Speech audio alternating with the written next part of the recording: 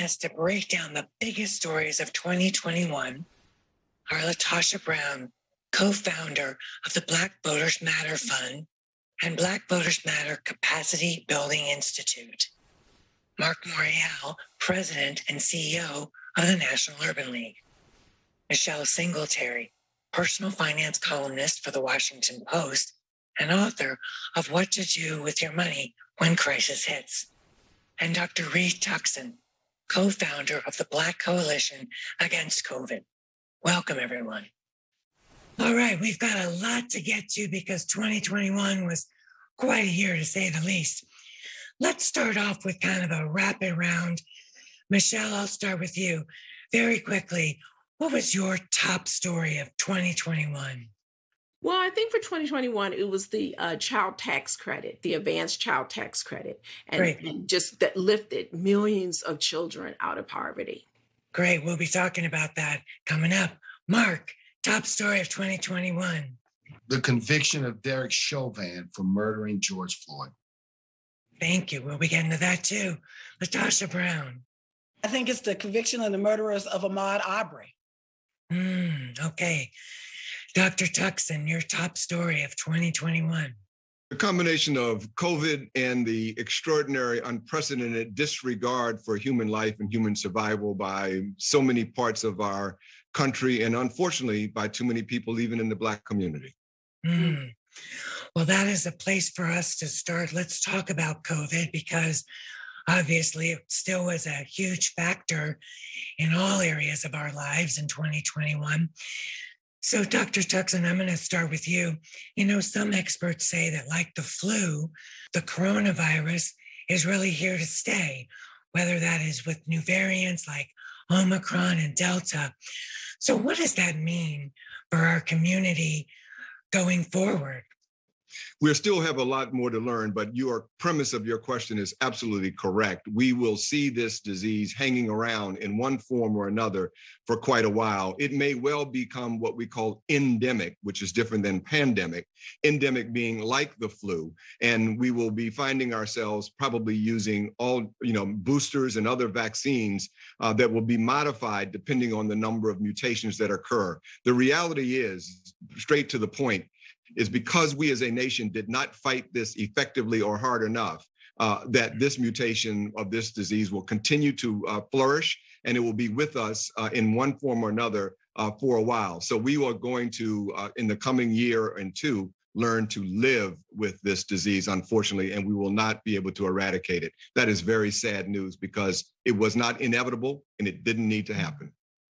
What do you mean it was not inevitable? Explain that a little bit we know that we had mechanisms to to try to really put this thing under control whether it was mask wearing or now as we have the vaccines uh, that are available booster shots and so forth but because of the failure of political leadership political will because we as a nation uh, too many uh, people in positions of power and unfortunately as i mentioned in the black community have mm-hmm. elevated selfishness self-concerned uh, uh, uh, self-absorption and economic priorities over human survival we have not done what we needed to do enough. We did not wear our masks enough. We have not gotten enough people vaccinated. And we can clearly calculate the consequences in hundreds of thousands of unnecessary and preventable deaths. This is very clear cut. LaTosha, you know, there was some good news on the COVID front in 2022. Obviously, Dr. Tuckson is 100% correct, obviously, that there were needless deaths. At the same time, in the Black community, we were able to turn those vaccination rates around. Dr. Tuckson was part of those efforts. You live in a red state. And so I'm wondering how has COVID or has COVID changed life uh, in your state over the last year? You know, COVID has changed everything. You know, COVID has changed the way that we organize. COVID has changed the way that we engage with each other, the way that we do business, even the way that we show up to our workplace or work from home. And so mm-hmm. vaccinations at least give us the opportunity to live. And yeah. so what we need is we need our communities to really understand that what is at stake. What we know is hundreds of thousands of people have died from COVID, many that we know in our own families, many who have been our neighbors, people, and it was, and many, much of it was preventable. And so we have to do whatever it takes for us to really be able to provide kind of protection for our communities and ourselves by wearing our mask, by getting vaccinated, and really trying to marginalize the impact on our community because we already have health issues that make us very vulnerable with this disease, with this virus. I look at it on one hand, uh, I think it's remarkable that medical science was able to, in a year, uh, produce a vaccine which is, for the most part, effective. Uh, and I was proud that uh, uh a Black woman by the name of Kizzmekia Corbett was central to that effort. Uh, at the beginning of the pandemic, it was predicted it could take three to five years yeah. to produce a vaccine, and thus we had a tool. But like the Dr. Tuckson, I was surprised and outraged uh, at the resistance, uh, the irrational resistance to uh, following uh, public health guidelines like mask wearing yeah. or recommendations uh, to be vaccinated. Now, a, uh, a plethora of lawsuits are being filed all across the nation to block mask man mask mandates. a political movement has spawned around uh, as though there's some great pride and some uh, connection to the notion of freedom associated with resisting uh, these mandates for a population that, for the most part, got vaccinated as infants uh, yes. with multiple vaccines uh, and a the backdrop of it being a 20th century where polio, smallpox, measles, mumps, and rubella were, for the most part, eradicated the level of resistance, the type of resistance, the way this has become politicized has been just devastating. One of the things we've seen is our federal government trying, you know, mask mandates. We've seen local governments and businesses try, um, you know, vaccine mandates and mask mandates. You know, it makes you think though, where is the point at which the federal government has done its part. And we as citizens have to take the responsibility that if we're not going to use these tools, that's on us. Let's be real you know african americans have been um you know skeptical of the government and the system for a very long time you know go back to this Tuskegee uh, project um mm-hmm. so you know the medical community has not done us well. You know if, if for example if i went into the doctors they're not going to necessarily believe me more if it was another white woman the same age. So the the reluctance there's a history because of that reluctance. Now having said that you know, I think when they introduced that they were going to speed up and get this vaccine, well, the science was there already, and right. so they should they didn't really accurately communicate that to our community, and so that's why this. I, you know, I'm going to be honest. I was like, I'm not taking this vaccine. I don't trust these white people.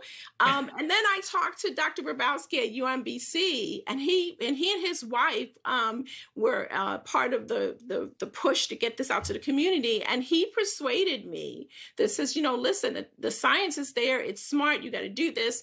And so I believed him rather than, you know, the Trump administration. Um, just hearing what speeds people made it, you know, people thought, well, this is just too quick. It's not, we're going to wait. And so when you talk to people who don't get it, what this is, is that they're not saying, I don't want to get it. I want to see what happens. What happens, um, right. Um, and that's where it's coming from. So when I write about this, I write from a financial point of view. So I said, listen, because money talks. So I said, if you get sick and you have you know, you can't do your job or you die.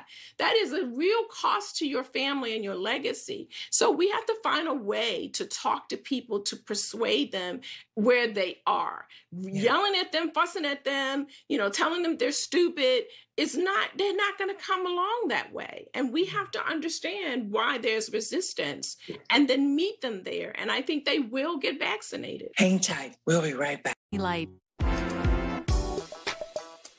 We need major structural change. That the economic structure in this country is so that you have major companies like Amazon, where the owner is about to be on the path to be a trillionaire, right? And where people who are poor are still pushed on the margins. And so we're going to have to have a fundamental shift in the entire structure of this economy to go forward so there's a more equitable distribution of the resources that people that work should be able to take care of their families. Dr. Tuckson, last question on this section to you.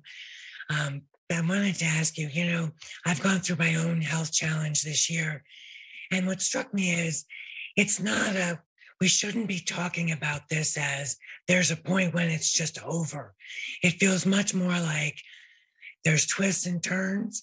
We've got tools, we've got information to keep ourselves healthy, to keep our communities safe, and to know that we may get other variants, we may get other challenges, but we can keep ourselves safe we created something called the Black Coalition Against COVID. We brought together all of the medical schools, all of the NMA, the National Black Nurses Association, the Urban League, and blackdoctor.org, leading digital health publisher, all in one arm. We've been partnering with the faith community, the Choose Healthy Life program. So our ministers, we have now, uh, uh, Karen, an infrastructure of the uniting between community-based organizations, faith-based organizations, and America's leading physician organizations, all who are prepared, to your point, not only to fight COVID, but to also fight for the pre-existing conditions that were already killing us before.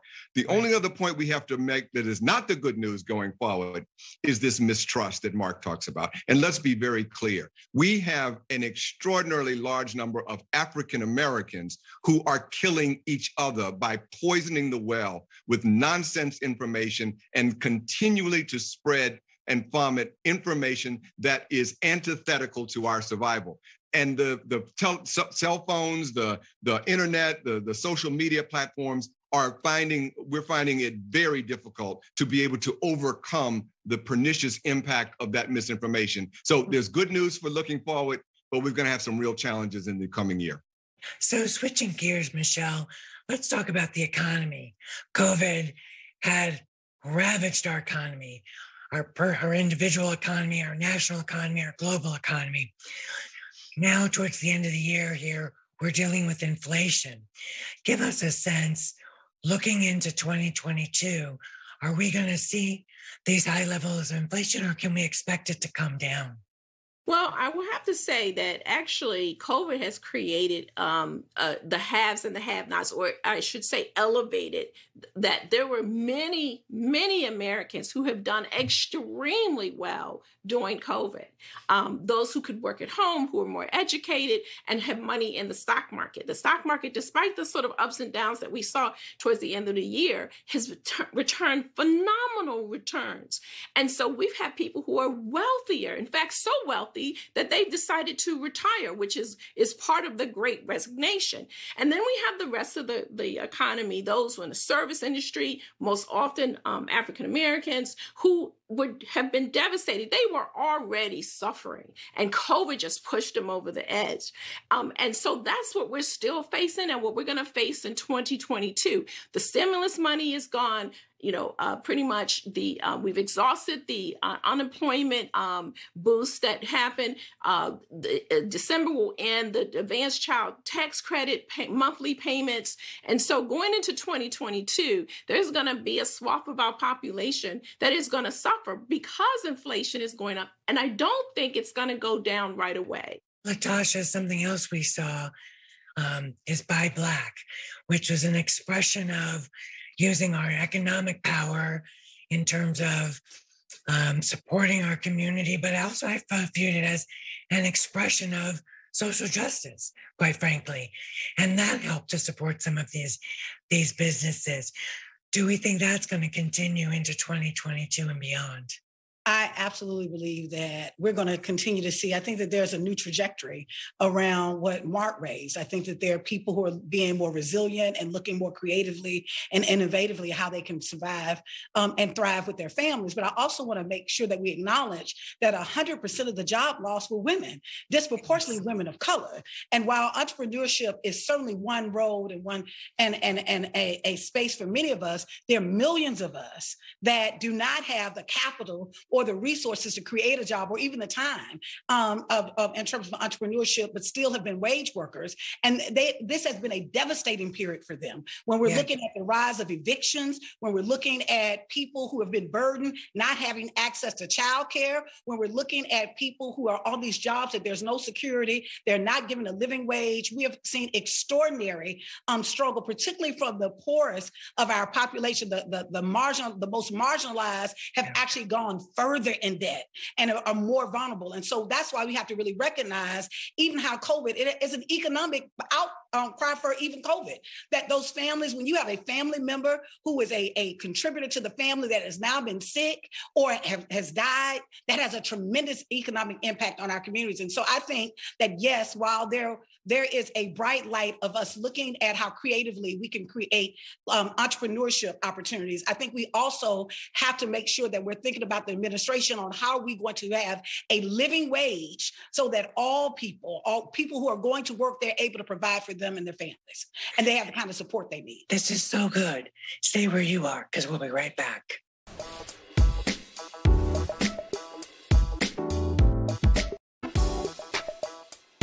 Welcome back to our viewers. We've still got a lot to cover. We know women disproportionately, as we as you mentioned, childcare makes it harder for us to get back in the workforce. We are caregivers. We are childcare we have senior of our parents and seniors as well as our children. And so I guess my question here is what will it take, Michelle? I'll start with you to get women to undo this trend with women and get women back into the workforce, get these numbers back up? Well, it's going to take a number of things. We have to make sure that there is affordable health care. And on the part of that is also the people who are taking care of the children, that they have a living wage. You know, one of the reasons why people can't afford it is because the workers can't, you know, they can't find people to do that job because it pays so little. And then we have to make sure that we have health care. I love the fact that there's more entrepreneurs, but oftentimes they go without health insurance so that if anything happens, they go under fairly quickly. Um, you know that most bankruptcies are because of medical debt. Um, and so where's healthcare? It's tied to your job. If you're you know working for yourself, you often aren't carrying it unless they're in the ACA um, uh, marketplace. Um, and so you know all we've got to put together a package that takes care of healthcare, um, child care, um, and then education. You know, it's very expensive to go to college. And then if they do, they got to take out these huge loans.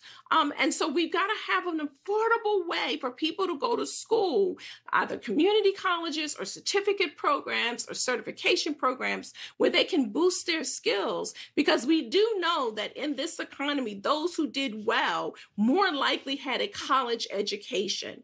Um, mm-hmm. and if you could work at home, even the better. And so it's going to take a package of things, but you see where Congress is. We can't get there because we still in this country believe that people should pull themselves up by their bootstraps, which is an idiotic expression because if you try to do that, you're going to fall over. And so that's why we need help. The challenge, and let's be really, really, really clear eyed about it healthcare costs are going to continue to go up. Uh, everything that has happened with COVID, with more people now who are sick, particularly in the Black community, are going to be bringing more disease into the system, which costs more to take care of. Unfortunately, also, is almost every new intervention, especially on drugs and in areas of like cancer, those drugs will cost a lot more than they have ever cost before. And so there's going to need, as LaTosha says, a shaking out of how we will be able to decide what is insured and what isn't. What can you get? What should you be able to get? And what can't you? The bottom line, Karen, that we going into this new year as a Black community have to remember we have got to take care of ourselves, that we have got to do the things that we know we're supposed to do to prevent disease, catch it early, and manage it. But if we think that we can buy our way out with medical insurance to be able to go to uh, doctors and hospitals, we're going to be in very bad shape. We have got to take control over our own lives, and we've got to do it today. Can I just add something on that? Because I, I, I, think all right, y'all know how I am, so I'm just gonna be good. this is a very academic. We're all very educated. I got two degrees. We got a doctor on here, but we also have to remember that a lot of reasons why people have bad habits have to do with mental health and where we came from and all the stress. It's we can't just we. I mean, I I, I got two degrees. My husband's got two degrees. It's easy for me to say you just need to eat better. You just a new dad. You, but but if you're a working mom and you you live in a community that doesn't have good grocery stores, or it costs a lot to go someplace, or you can't take off to go to the doctors. I mean, we got to recognize that there's a lot of barriers for people to do to take care of their individual issues to help while we're trying to work on the policy side. So we still need to meet people where they are. That mom or that dad that's working all day long, it and it, they can't afford to take off a whole day to go to the doctor. So we that's why we do have to work with companies to give people sick leave and and personal time off because part of the reason people are so stressed because they taking care of everybody in their family. I mean, I made it out, but you know, other people have it. So what I'm saying is that we can't just do like this to people all the time. Well, Michelle, I don't want to be in the place of finger wagging, but let us be also and and it's the tyranny of the and but I want to be very clear because I all of my work has been in South Central LA, the heart of core of DC, uh, and in New York and Philadelphia. So I'm where you are. But I and I think your point is well made. However, and in addition, we know that we are making bad decisions when we have the ability to make those decisions. And we cannot always be perpetual victims. We have to control that which we can control. Let's do the tyranny of the and and not the or. Thanks, everyone.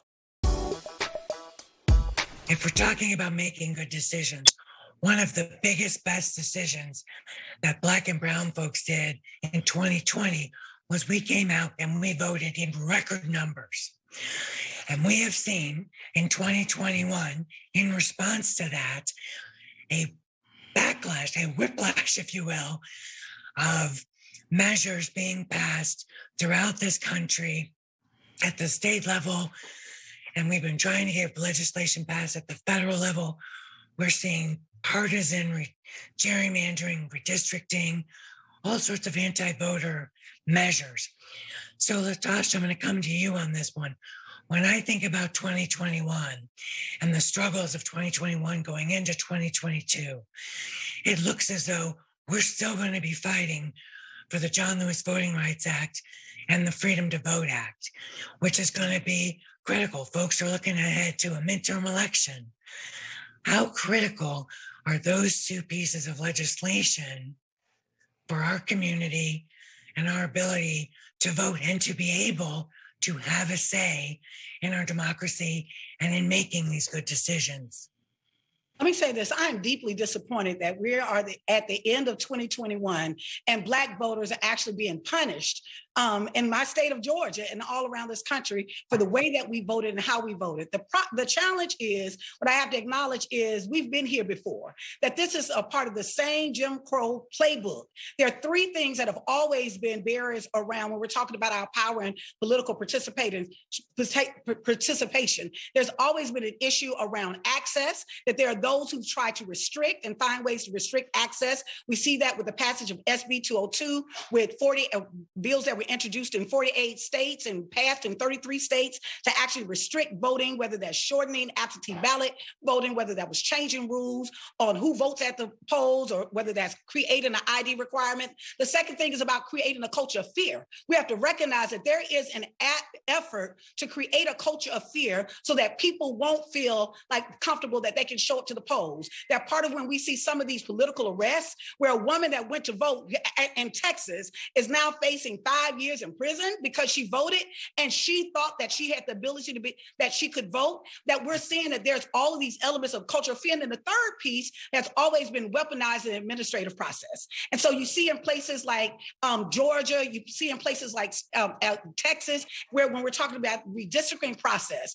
that in Georgia, 100% of the population growth in the last 10 years were communities of color. How is it that the Republicans have actually drawn maps where give them an advantage? The same thing in Texas, that the growth has come from communities of color, but what you're actually seeing is you're seeing more representation go to, to Republican um, voters, Republican leaning voters. The bottom line is we're still in this playbook process of democracy being unraveled or democracy only being available to, to, uh, to a few.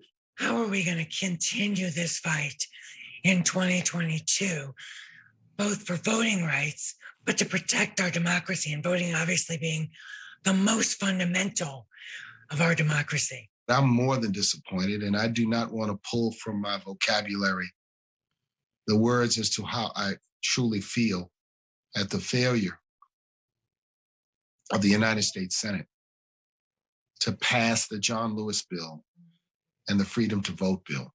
Mm-hmm.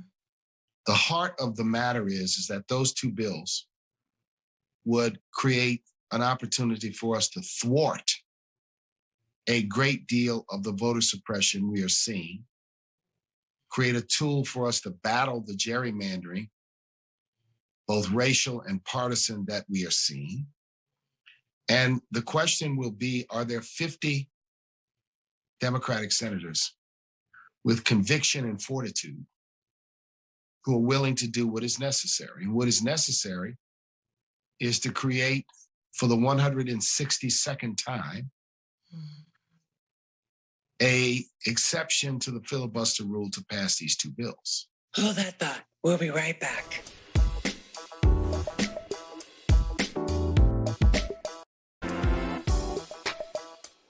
One of the other big stories Mark mentioned, the Jared and LaTosha, the Derek Chauvin trial, the Greg and Travis McMichael trials.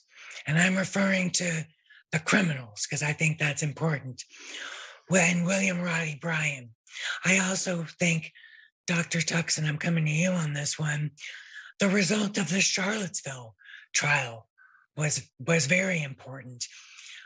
What do those, if we take those three together, knowing that there were disappointments along the way too, but if we take these three, what does that tell us about the cause of justice and racial equity in 2021 in America? It tells us that our lives are imperiled. Our lives are imperiled at every level of our existence, from the conversation you just had to the ability for people in power to just murder us and without, uh, too often without accountability. And that is extraordinary. What I think is particularly important, though, from my perspective, is that I work work from an out from a from a perspective of an undying love for Black people. That's where I begin. That's where I'm at.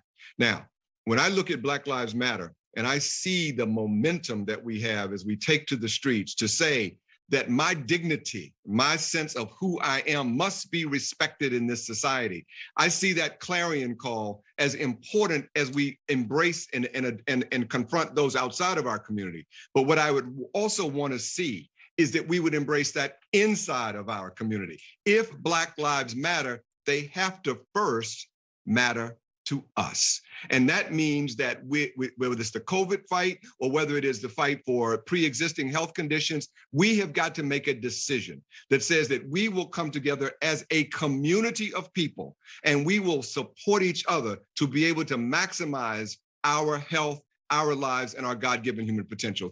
LaTosha, do the results of those, the outcomes, I should say, of these trials give us hope. What gives me hope in the outcome of those trials is not because in any way I have hope into that justice system. The truth of the matter is it took four DAs in the Ahmaud Arbery case to right. even get that the DA actually refused to even try that. But you know how it happened?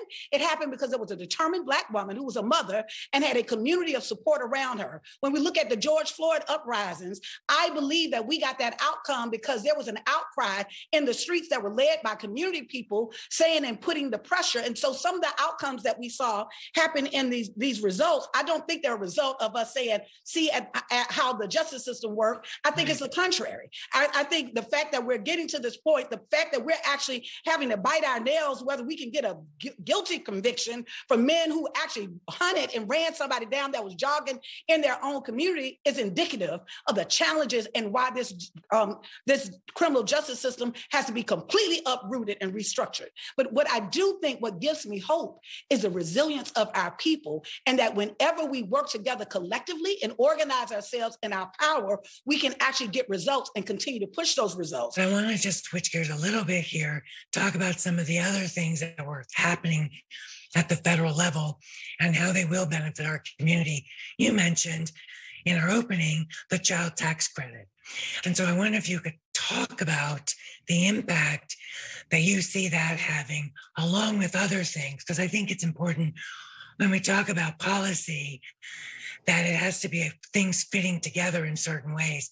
Can you talk about some of those bright spots and what people should be looking for? Yeah, you know, in the midst of something that was so devastating as COVID, out came an anti-poverty measure that has made all the difference in family lives. You know, the tax credit wasn't new, but what happened was they decided let's give it to people on a monthly basis because guess what? People actually can manage their money on a monthly basis. And so they gave it to them in a monthly in advance, and they also increased the amount that families were getting.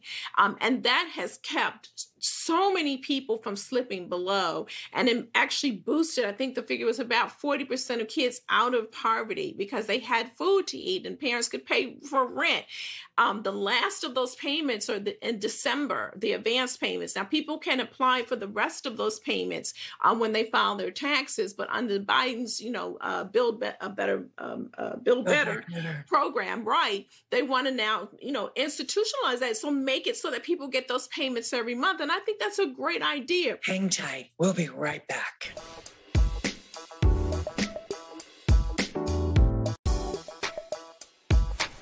There's a crisis. People kind of pull together. But when that crisis ends, tells you whether or not you're going to have a society that is going to help the least of them. I mean, that's why we put Social Security in place. There was a crisis, right? And right. then they said, well, you know what? Let's make sure that we give people a baseline of income. That's how Social Security was created. This is where we are now. We're at that period now when we were the Great Depression, where we're saying, let's not just give people a little bit. Let's give them a way to to gain some ground.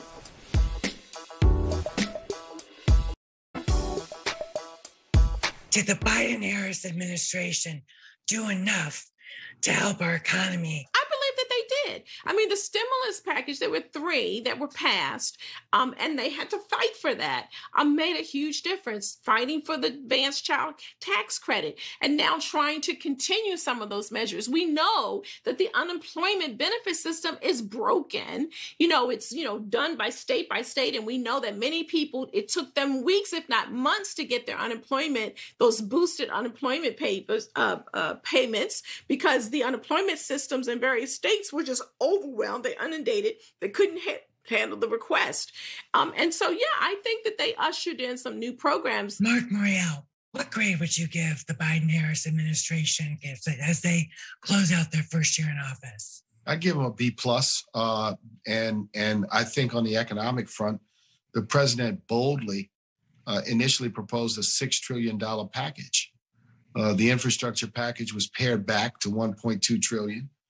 Uh, and now the uh, the second component, the human infrastructure package, is now uh, in the 175 range.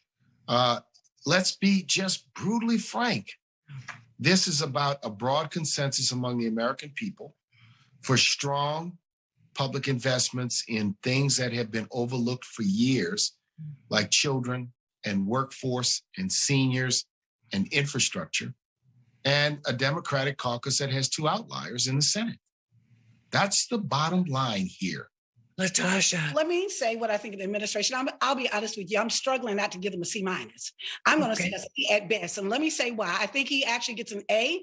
Uh, the Biden administration gets an A around what they've done at COVID. I think he did an extraordinary job of getting um, um, uh, issues out around COVID, making sure that people had access to the vaccine. I think he's done an excellent job around the child tax credit. He has gotten a straight up F on voter suppression issues around dealing with voter. The fact that we don't have voting rights legislation legislation right now, I don't, it's either pass or fail. He's failed on that so far. Mm-hmm. I think in mm-hmm. addition to that, when you look at, when I think of the images of Afghanistan and when I look at the images of Haitians, I have not forgotten those images of seeing Black people who were right. literally chased down like they were dogs on, on the back of horses, that that was under his administration. And so when I look at, when we're talking about immigration, how Black immigrants are actually being deported at higher rates than everybody else, other immigrants in this country, that is a full failure. When I look at at the economic structure in this country that what we saw in the last year, that yes, while there were people who did very, very well, but that you still had a 100% of the job losses were women and women of color, that is an economic failure. So the community in which I represent, that I think that he has not done enough. We still don't have criminal justice reform. We still don't have voting rights legislation. We still don't have anything that comprehensive other than yes. And we know how normally when the infrastructure in the infrastructure bill, as it works, it's going to be interesting to see how black companies fare out at the yes. end, end, end of that. And so, in for for that reason, I give a C. As it comes to Kamala, let me say I openly must say that I am a supporter of Kamala. I actually think that in many ways the media has actually held her at a particular standard. They've not held held a single white boy that has been in that position. That at the end of the day, that she is the vice president, not the president. She has met. She has actually taken on two of the hardest issues um, in this administration. But ultimately, it is the president who has the power to actually be able to move that. And so I actually believe and continue to support that sister because as a Black woman, I know how oftentimes we're used as a scapegoat where others put us in a position so that it seems like we're the problem or that the failure, we get the brunt of it when we're doing everything that we can behind the scenes to actually move things. And I've seen her, I've talked to her. I know she cares passionately about voting rights and she cares passionately about our community. And because of that, I'm still and will continue to be a supporter of, of hers. Dr. Tuckson, yep. uh, your grade for the Biden Harris administration and anything you want to weigh in on with regard to Vice President Harris and her performance this year? I will give them a B. And the elements that I am celebrating about them is that they have been working hard with people like Mark Morial and myself to find the dollars and push the uh, government agencies to fund community-based and faith-based infrastructures that are necessary for healthy communities. And that has been very important to try to turn around the spigot of who gets the money and and and this is something that we've been fighting for our community-based and faith-based organizations. As far as Kamala Harris is concerned, uh, a lot of people don't realize that when uh, that she is working hard behind the scenes uh, to make sure that these government agencies are being accountable. And I will say, in summary, that when we needed to say to uh, some of these agencies that could not see their way uh, to do right by Black communities in our fight for health and fight for COVID, we were able to use the impromptu of Kamala Harris and say that she's got her head in the game. A lot of people don't realize she's got her head in the game and that she has so much influence, but we can see it. It's not in the newspaper, but it's behind the scenes. And I do want to give her credit for it. Thank you, Dr. Tuckson. Well, you all, this has been a fantastic conversation. Thank you. We're gonna we're gonna try. I'll start with you, Mark. What gives you hope for 2022? My hope is eternal. I'm an eternal optimist. I trust our people to continue the fight. Uh, and that's what gives me hope. I think we are a resilient, strong, resourceful community. Uh, and we're going to keep on keeping on. And that gives me hope. And I think the economic standing of the country, uh, if we can get past COVID a little more, uh, I think that with the investments that this administration uh, plans to make, uh, I think we have an opportunity to put a dent in the wealth gap put a dent in the income gap, and raise the standing of those who've been historically locked out and left out. Michelle, what gives you hope for 2022? Um, I, I I I like what LaTosha said about um, the fact that we have always been fighters. And I just sort of think, you know, I'm a direct descendant of enslaved folks. And I remember um, my grandmother telling me stories about how they had to, what they had to do to live. And so I'm very encouraged that we are going to fight this. And, and I, I totally agree with Mark. We have got to get those voting rights um, bills passed because that has an economic impact. When you vote the right people in, they vote your economic interest.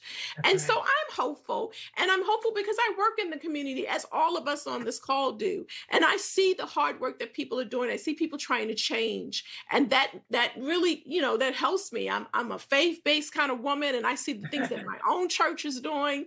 And so I, I gotta have faith because what else? You can't have anything but faith, right? right. Uh, and so I'm I'm looking forward to 2022 and us turning around a lot of these issues. LaTosha, what gives you hope for 2022?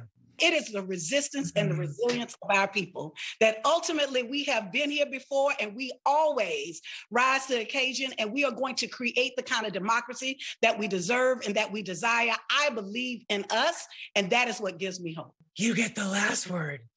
Uh, what gives me hope is first an undying love for Black people, how we come together, always have loved each other and been there for each other. And the second thing that gives me hope is what we've seen this year is an unprecedented coming together of our medical leadership and talent, along with our community based and our faith based uh, leaders, all bonding together for the sustained fight ahead. We've got an infrastructure now and a commitment. We're energized, and I see good things ahead for the Black community when it comes to our health. Thank you all so much. And thanks so much to our audience for watching. You all have been fantastic. This has been a wonderful conversation. Thank you so much. Thank you. Thank you, Karen. Thank you. Aaron. As we close out 2021, I want to say a huge thank you to TV One and our whole crew. And we're looking forward to 2022.